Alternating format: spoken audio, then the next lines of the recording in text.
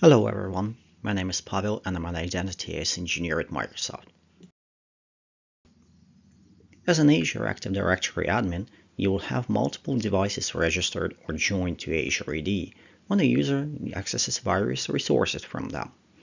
Ideally, anytime that a device is decommissioned, users should unregister or unjoin them. For example, if a device is managed by Microsoft Endpoint Manager aka Intune by using wipe, retire, or manual unenroll process. You can find the link for that in the description below. But for many reasons, this may not happen.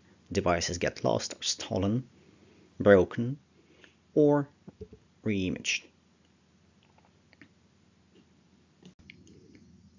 They would still show in Azure AD, becoming orphaned potentially confusing and causing complications, especially if the new or reinstated device is registered again under the same name. In this video, we will focus on managing stale devices, ones that have not been used to access any cloud resources in a certain period of time. Now, how long that period is, that's defined by your organization and would vary depending on total number of users and devices you manage, how many devices a single user has, how often they're replaced or rebuilt. Generally, 180 days would suit most organizations.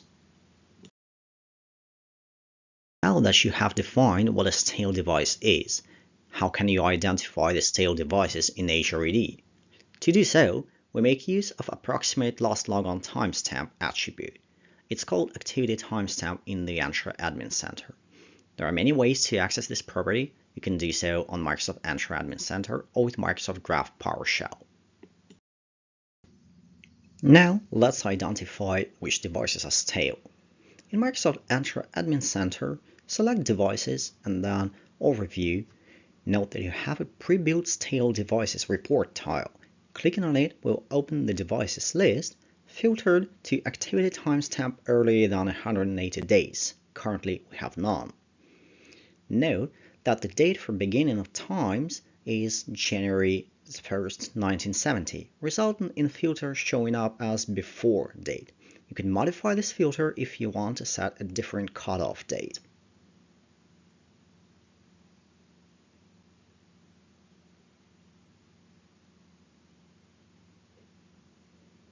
It's the same view you can get if you click on the all devices and apply the filter manually and if you leave the start date empty, it will show the same activity before in the filter.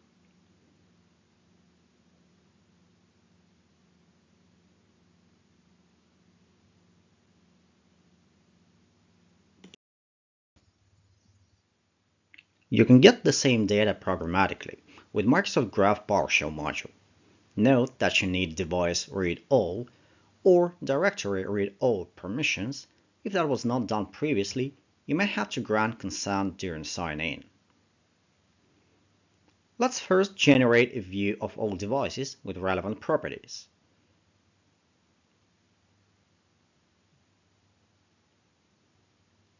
Note the ZTD ID property that is extracted from physical IDs.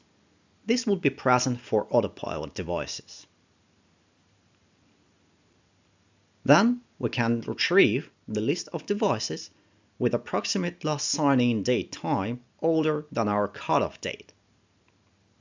For the demo purposes, I'm setting this to 10 days.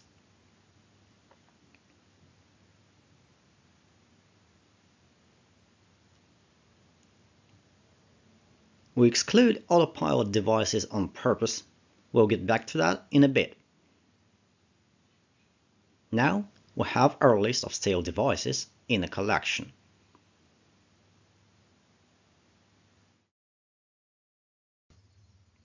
Important thing to remember about this attribute, it is not updated real time whenever the device is used to sign in to Azure AD.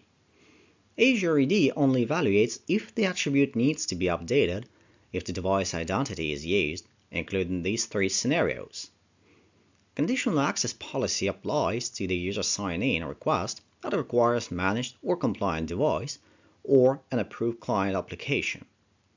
Windows 10 or newer device that is AD or hybrid join is active for example as part of the PRT acquisition. Or Intune Managed Device checks in to MDM service. Even then, the timestamp is only updated if it's older than 14 days plus minus 5 days random variance, resulting in the 9 to 90 days range. This is why we recommend to assume device is stale only if the timestamp is significantly older than that. Now that we understand how to determine if the device is stale, how do we run the cleanup? You should normally disable the device first, resulting in users being unable to access any resource protected by AD from the disabled device. On Windows devices that are AD joined, the users can't sign in at all. This gives you the chance to hear back from users if the device has gone stale accidentally and would still be used going forward. It is best to leave the devices disabled for 30 days before deleting them completely. You can have a different cooldown period based on your organization's policies. Note that you cannot restore a deleted device, so if the BitLocker recovery key was stored in AD, it will be irrevocably lost. Back them up elsewhere or you will have to reimage the device. Make sure you don't delete the system managed devices, for example Autopilot. If you do, it will break the Autopilot provisioning. A very limited set of admin roles can execute these actions. You must be a global administrator, Intune administrator, or cloud device administrator to disable or enable devices, and only the first two rows can delete devices. For hybrid joined devices, disable or delete them on premises and let the change sync to Azure AD. Let's look at how to disable and delete the devices in Microsoft Entra Admin Center. We start from where we left it, showing the list of stale devices. From here, you can click on the device name, disable or delete it. Alternatively, you can select multiple or all devices in the list and disable or delete them in bulk. Make sure you read the warning shown and understand the implications.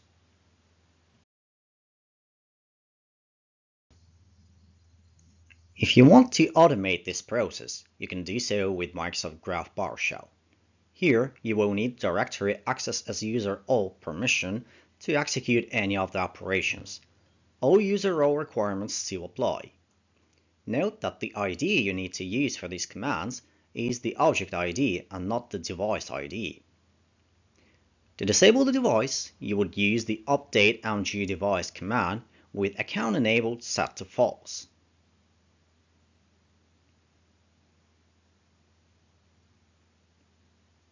You can later confirm that the device has been disabled with PowerShell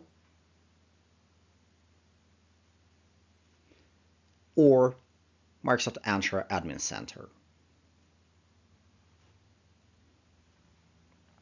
If you need to re-enable the device, use the same command with account enabled set to true.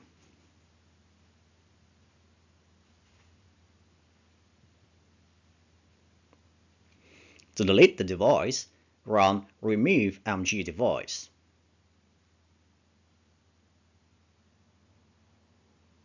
In a few moments, the device will be deleted.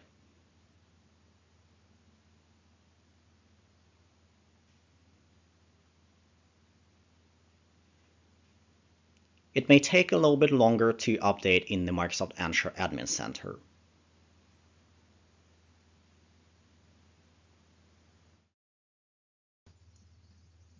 This concludes the topic of managing stale devices in Azure AD. Thank you for watching and please check the links in the description for additional information.